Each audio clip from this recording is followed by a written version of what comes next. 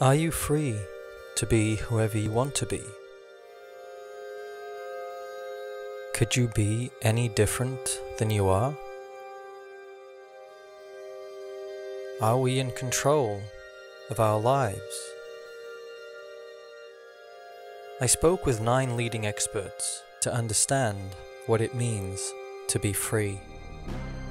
You can't be self determining without choice, but giving people more choice does not necessarily make them more self determining. Regrets, uh, at least how we define, is really related with uh, our responsibility of our choice. Our regret has to be dependent on the degree to which we did have the freedom or didn't have the freedom. Why do we believe we are in charge? People often ask me, Do you believe in free will? And then I say, Well, it depends on what you mean. What is determinism? The view that nothing can ever happen otherwise than it does, from the Big Bang to now. Of course, there's no free will in the sense that the future is already th- is there. It's just that right now I don't know what it's going to be because I can't compute it. Maybe you think it would be nice if we could make both choices or something like that. We can't. how unfortunate it would be if the way the world is put together that we are not the authors of our lives.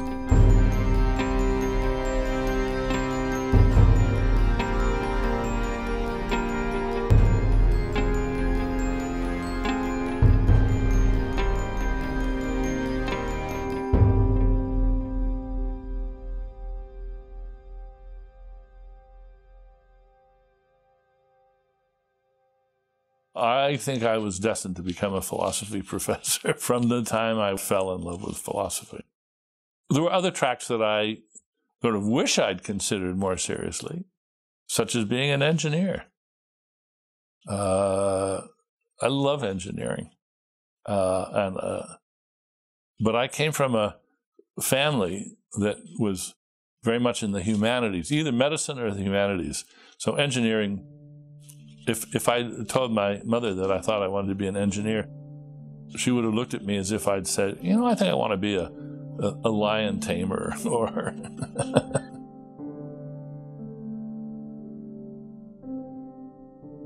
Could Daniel Dennett have become an engineer?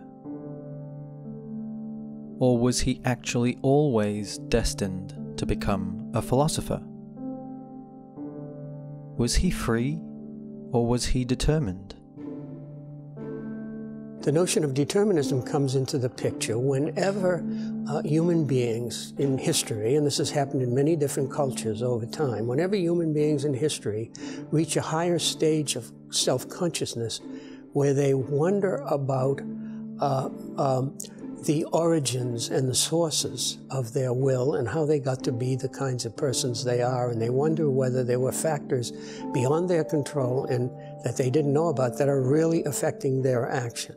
So, determinism is the general idea that every event that happens has a cause, whether we know it or not. All causes are linked in a chain that goes back to the very origin of the universe or in a theological sense to what Aristotle called the prime mover, who set everything in motion, and everything is playing out exactly as it was figured out by the prime mover, as if he was a producer and director and writer of a film, and we're watching the movie.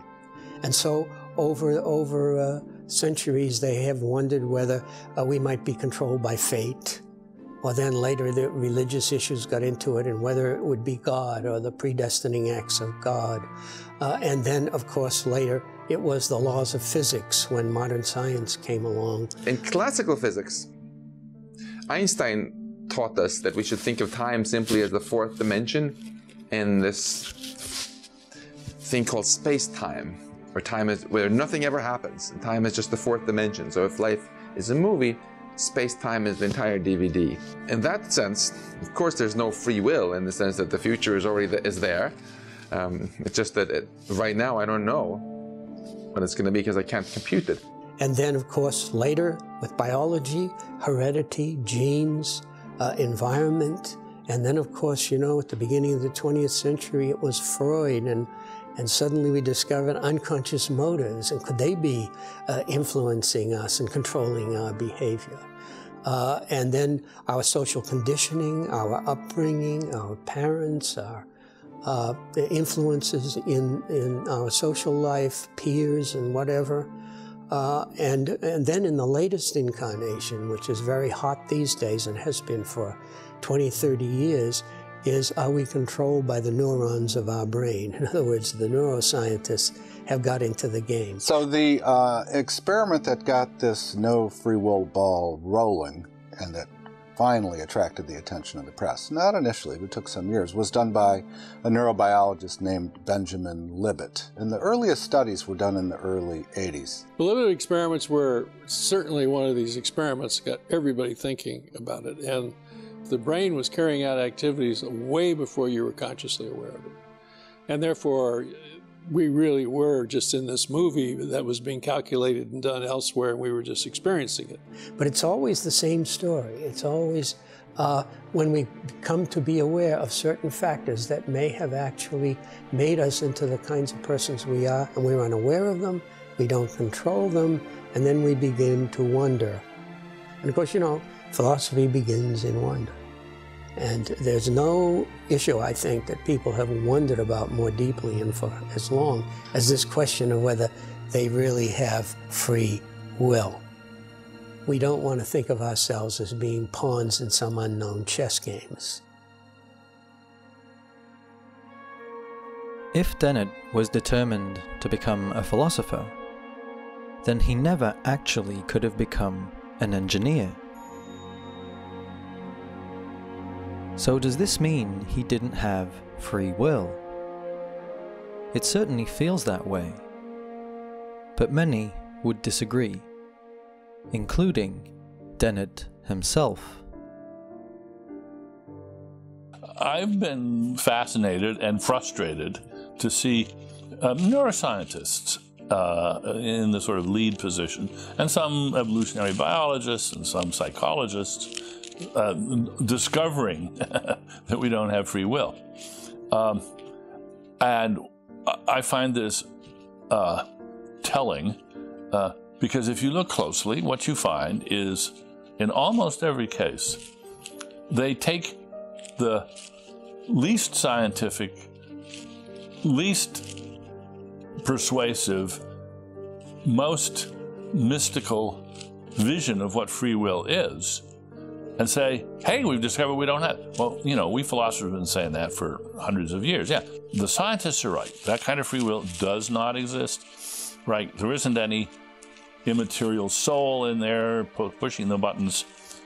So, right, free will doesn't exist in that sense. What about the kinds of free will that are natural, that you can uh, render consistent with a scientific vision? That's where moral competence comes in. Have they got any evidence that human beings in general are not morally competent? Absolutely not. They do have evidence that some people aren't morally competent. We knew that all along. Children, imbeciles, people with serious brain damage, people who have been catastrophically misinformed, obsessive people. There's lots of people who, alas, and often through no fault of their own, don't have moral competence. And we say they don't have free will. And there's nothing mysterious about it. So we can have free will, even if everything is determined, if free will means being a morally competent person. The first thing to notice here is that whether or not we have free will really depends on how we define it. People often ask me, Do you believe in free will? And then I say, Well, it depends on what you mean. And then we run through different possible meanings. So, the first kind, the regular kind, is this if you're sane and rational and well informed, and uh, nobody's threatening you, coercing you, pushing you around in any way, and you make a decision on the basis of good information, that's a free decision. You exercised free will in making it. What we should mean, and the one that matters, the concept that matters, is when we say somebody has free will, what we mean is that they are a morally competent agent. They are able to choose, uh, guided by their reason and their knowledge, and we hold them responsible, and they hold themselves responsible. It was an idea, human idea, that came to into the culture at a time when uh, we didn't have a real deep grasp of uh, how we fit into the natural world. That the idea uh, seems logical for uh, uh, in, instilling the concept of personal responsibility in a culture, in a, in a, group of people, that you're responsible for your actions. And uh, you choose freely to do what it is you're doing, and if you do something bad, you're going to be held responsible for it. I don't think it's any more complicated than that. That is compatible with determinism. You can have all that even if the universe is deterministic, even if determinism is true of the universe, because all determinism really is is the uh, thought that the initial conditions of a universe, together with all the laws of nature, entail all other truths about the universe. It's not as though determinism involves some force pushing you around. This kind of free will can fit into a world where everything is determined. This is why it's called compatibilism because it's compatible with determinism. So when we ask the question, was Dennett free to become a philosopher, or was he determined to become a philosopher? The answer can be both. You are free if you are responsible, and you are responsible if you are able to do what you will to do. And that sounds, you know, easy enough. We really shouldn't doubt that we have free will in that sense. But some people think, no, that's not enough because what you need are alternative possibilities of decisions in a really deep way. And to picture the deep way, well, one way to picture it is if you could imagine rolling back time a bit and then rolling it forward without changing anything up until the moment of decision. If you have free will, then if actually you decided to do one thing, uh, you could roll it forward without changing anything before the decision and you make a different decision. Free will is not just free action. This is something I try to emphasize to people because many people simply identify free will uh, uh, with free action. Free action is the ability to do what you will. Uh, and we are not free in this sense when we're, say, coerced or we're acting compulsively or we're incapacitated or we're in jail or someone has us tied down or whatever. When we talk about free will, we're talking about a deeper problem. Uh, and that deeper problem is uh, uh when you ask the question, not are you free to do what you will, but whence came the will from which you are acting? When you act freely. Uh, is that will something of your own free making, or is it entirely the product of factors uh, over which you had no control and, and so on? How did you get to be the kind of person you are with the will you have? That's the question about free will. And you can see it's a much deeper question because a person could be free to act or will as they do uh, and, uh, and not have free will in this sense. Imagine a young man uh, on trial. Uh, he's uh, tried to rob a young woman, and in the process, when she resisted, he, he killed her. Uh, and at first, as we listen to what this young man did, we have deep emotions, resentment and anger against the young man. It's pretty natural. Uh, what he did was horrible. But as we sit in that courtroom over a period of time and we listen to the sordid story about how he got to be the vicious young man that he is, uh, you know, a story of parental neglect, uh, sexual abuse, say, by his father or uncle, or uh, a bad peer pressure, uh, too little love in the home, and all this other stuff, then slowly our anger and resentment against the young man begins to shift and we start to feel resentment and anger against those who abused and made him the way he, he is. But at the same time, our resentment and anger against him doesn't completely go away because we begin to ask ourselves the question but wait a minute, all these influences were awful, but didn't he still have some chance? Wasn't there something left over for him to be responsible for? You know, this is also natural, something we naturally think about, right?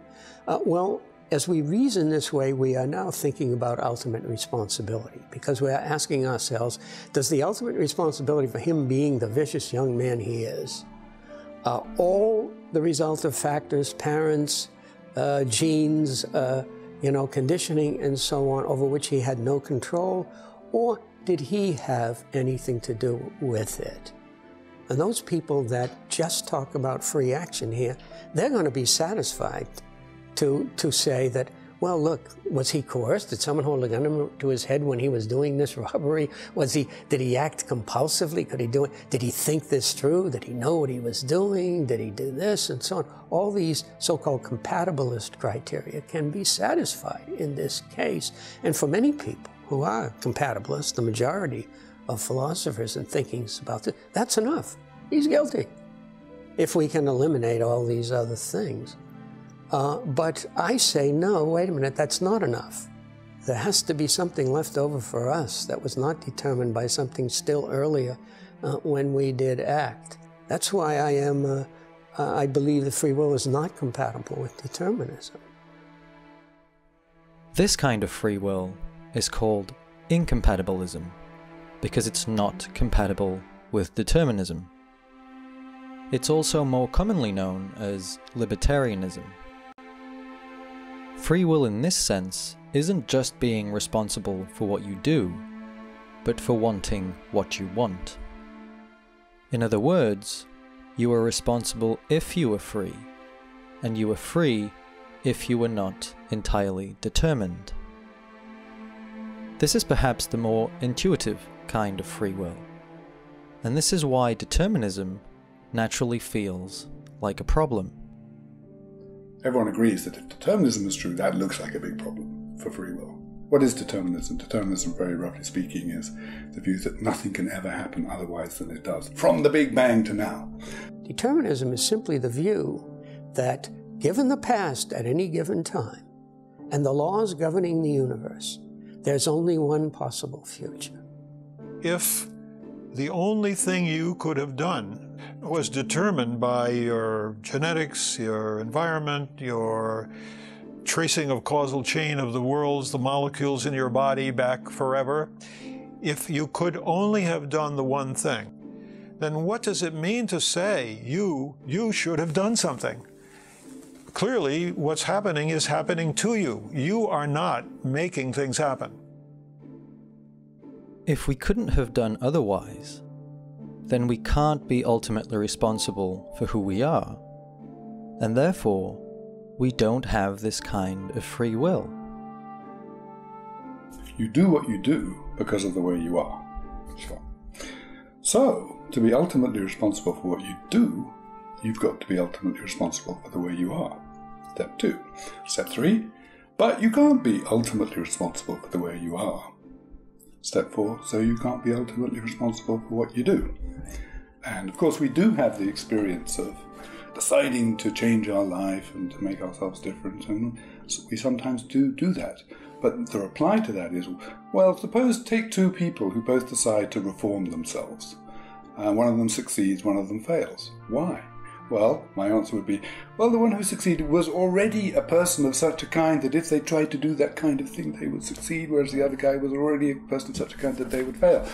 Uh, and then you can add to that various points. But look, no, we know that quite a lot of our nature comes from genetic inheritance.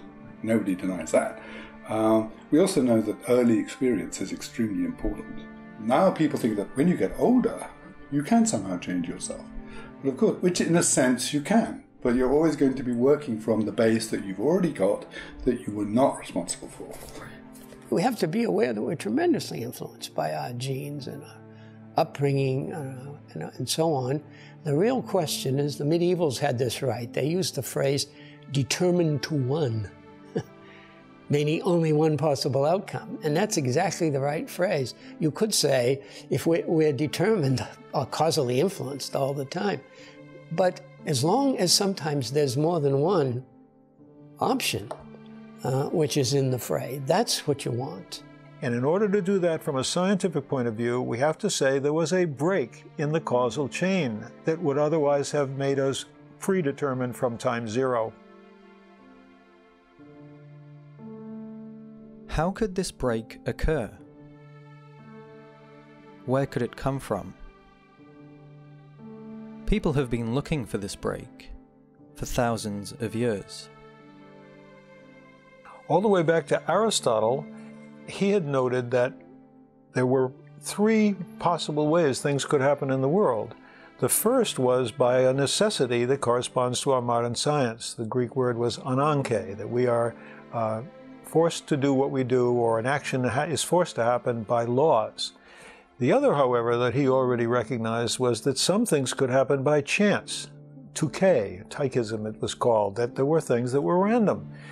However, he thought there was a third possibility, that our actions, especially our moral actions, ones that we thought hard about, were, quote, up to us, or he said, in us. And uh, this notion of being in us really was the thought that somehow the action originated and made what he called a fresh start, arche, an origination in our own minds. Modern science tended to show that everything followed the first way determinism. Nothing could happen by chance. So, for a long time, thinkers turned to the third option. The break had to come from something else, something from inside. And what has happened in the history of philosophy has been such a mystery as to how you could explain free will given exactly the same past that philosophers, great philosophers too, have tried to resolve the issue by introducing some extra factors into the situation that do the job. Like Descartes, you know, uh, with an immaterial soul, which would intervene in nature. Uh, Kant introduced a noumenal self outside space and time that would do the deed. You really need to add a supernatural aspect to things. I never have much to say about that one because I don't know how to study, I mean, empirically study what you would need. Relying on a soul means resting, for now, outside the purview of modern science. So, how can we get away from determinism without making this leap of faith? In the 20th century, a new field of science was maybe going to provide an answer. It's quite striking how we humans, again and again, through physics, have been led to suspect that reality might be different in various ways when we study not the large, but the very small with quantum mechanics. In 1927, Werner Heisenberg found that there was randomness in quantum physics. If you focus a microscope on an atomic particle, we come to find random events electrons jumping between orbits rather than moving continuously in a deterministic way. And the randomness serves to break the causal chain that the determinists like to argue for. Given the past at any time, there are multiple possible futures. Garden of, you know, it's a garden of forking paths. Does that contribute to free will? Well, if you want that mid-grade kind, you're going to need it. You know, it's a funny, there's a long story here as well. The Epicurean philosophers of old they were onto this. They said, look, there'll be no, there's no room uh, in nature for human freedom if the atoms don't sometimes swerve from their appointed paths. Quantum physics had potentially given libertarians the key to their kind of freedom chance. Then the question is how can indeterminism help? And of course, at first it seems it must be able to help because it's not absolutely strictly determined all the way. There's a kind of there's a way in for something free. But the trouble with indeterminism is that uh, why does that make me responsible for it? I mean, that's just indeterminism is luck, as it were. It's not. So that's one of the problems. Why isn't it, as they said to the Epicureans, just chance that you went one way or the other if it's undetermined at that moment? And here's an even deeper problem. Um, if if indeterminism means given the past at any given time, there are multiple possible futures, that means you must be able to have chosen voluntarily to do this or voluntarily to do the opposite, given exactly the same past leading up to your choice. Exactly the same thoughts, the same emotions, the same feelings, and so on. You could do different. It's a tremendous paradox. It isn't ultimately coherent. If, everything's determined, we, we, we understand the sense in which that's a problem. If things are indetermined, well, that's just throwing luck into the, into the equation, and that doesn't make you responsible. Either way, you can't be fully responsible. So free will is not, in the strong sense, is not possible. When talking about free will, the first thing to understand is that there really are these two different views of freedom. There's the compatibilist free will that can exist in a deterministic world, and there's the libertarian free will that requires some real randomness. The disagreement over which one is the real meaning of freedom is itself a major debate in philosophy. I'm officially neutral on the compatibilism versus incompatibilism dispute, but I find libertarianism uh, fascinating, much more interesting theoretically. That kind of free will. There are some philosophers who believe in it or think it's important, but they're they're really the minority. Uh, most philosophers who've thought hard about this are, like me, compatibilists. Freedom exists in the sense that you are free to make the best choice possible depending on the quality of information you receive. It, it, it, full stop. The age old, it's thousands of years old idea that in order for us to have free will, indeterminism must reign. We must have the random swerve. It's, it's a tempting, seducing idea, and it's simply wrong. This is, of course, the stuff of modern debate. There are many people, especially philosophers of science, who just love to debate this thing. I like to quote uh, the uh, medieval Islamic uh, Sufi poet and philosopher Jalaluddin Rumi, a 13th century. He says, There is a disputation that will continue until mankind is raised from the dead between the necessitarians and the partisans of free will.